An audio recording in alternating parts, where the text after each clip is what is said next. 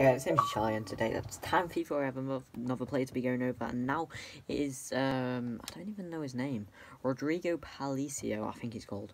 Now, I think I remember his, um, I think he had a Player of the Year card last year in FIFA, unless that's someone else. Um, because I, because I'm definitely, I think I did him, he was like a 94 rated, but this card looks insane. It's, I would 100%, I mean, I've not even seen how much it is. 83 and 85 the packs aren't even that bad either. So yeah, a million percent do him.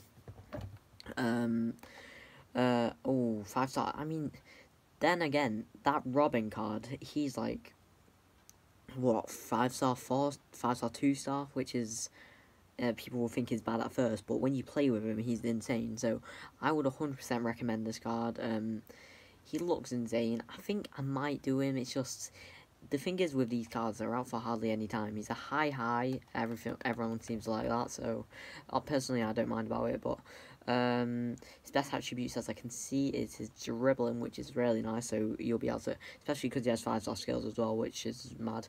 Aggression is good. Uh, he's played striker, so yeah, finishing pretty good as well. His long shots aren't the best for some reason. Like they're really bad. I don't know why.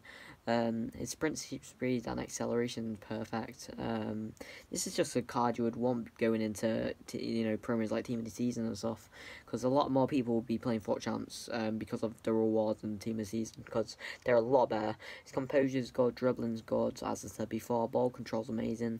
Um, and that's his stamina's decent as well. Uh, strength isn't the best. What's his balance? Uh, balance, balance, balance.